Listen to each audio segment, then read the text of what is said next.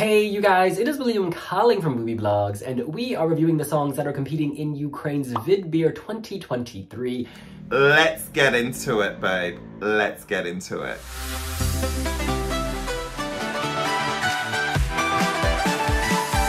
Jerry Heil is next. I'm assuming Jerry is female. Actually, it could be male. We don't know. You, of course, will remember Jerry from Vidbir Past. She rose to fame on YouTube, I believe, so has a big following, very popular singer. The song title is called When God Shut the Door. And coming from Ukraine, this is weighted, right? When God shut the door. Sometimes I feel like he has on me already. It's not easy. There are days when, oh my God, the song title alone, I'm drawing meaning. I'm just gonna hit play. Oh, it's a girl, beautiful girl too. When God shut the door, I fell on the floor. I don't want war, but he knows sure. When God shuts the door, he opens one more. When God shut the door, I fell Oh, love those harmonies. Very haunting. When God shuts the door, I fell on the floor. I don't want war. Oh, wow. Do you know what? God is shutting the door, but there's hope. This is what we think of when we think of Ukraine at Eurovision.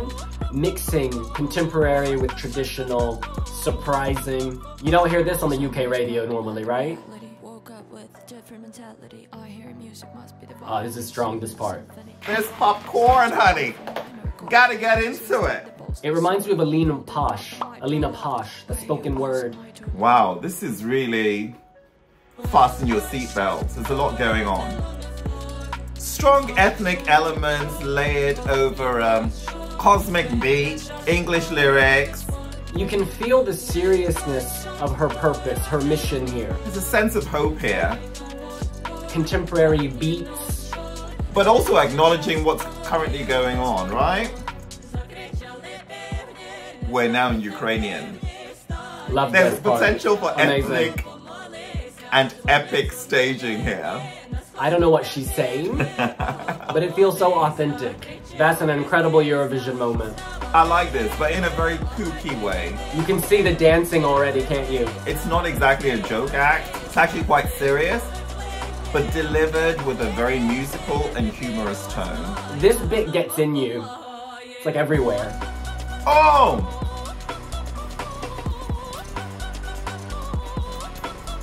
We love an operatic flourish. Mm. I hope she can hit this live. Got that Go_A madness, you know? So many things happening. When God shuts one door, guess what? Another one opens.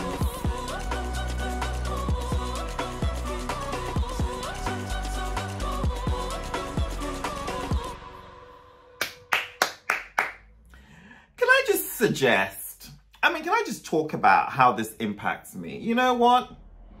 My philosophy in life is quite simple. Doors do get shut, but windows get open. You can't be in a gas chamber. You need to kind of take flight, live your dreams, follow the footsteps of success laid out in front of you, and dance while you're at it. Do I like it? I actually do. Do I think that this could win Vidbir? Possibly. Do I think there's room for elevation? Hmm. Interesting question. I wouldn't say elevation in a sense, but what I can say is that this would offer the most interesting visuals, right? Because you can you can tell a million stories here. There's so many themes you can draw from. She looks great. She can sing. There's also dynamism for the ears, right? And even your feels and your feeling. Hmm.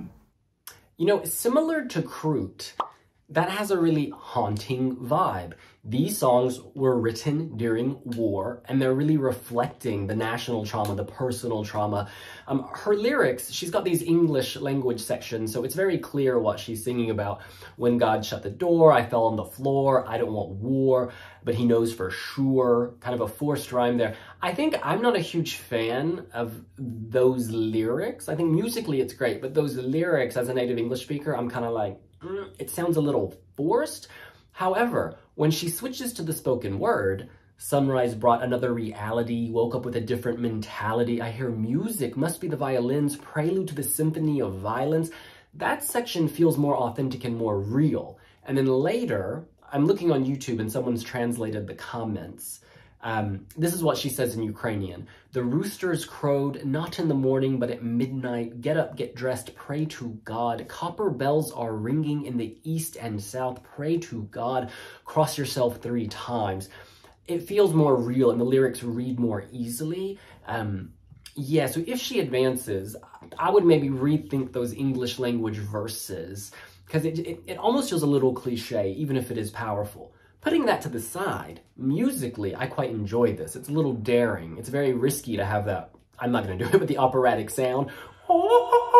It's almost like she has an egg caught in her throat, and like I worry that no one could get that live. Um, reading comments, some have suggested that Jerry Heil's voice is a work in progress, that she's developing it.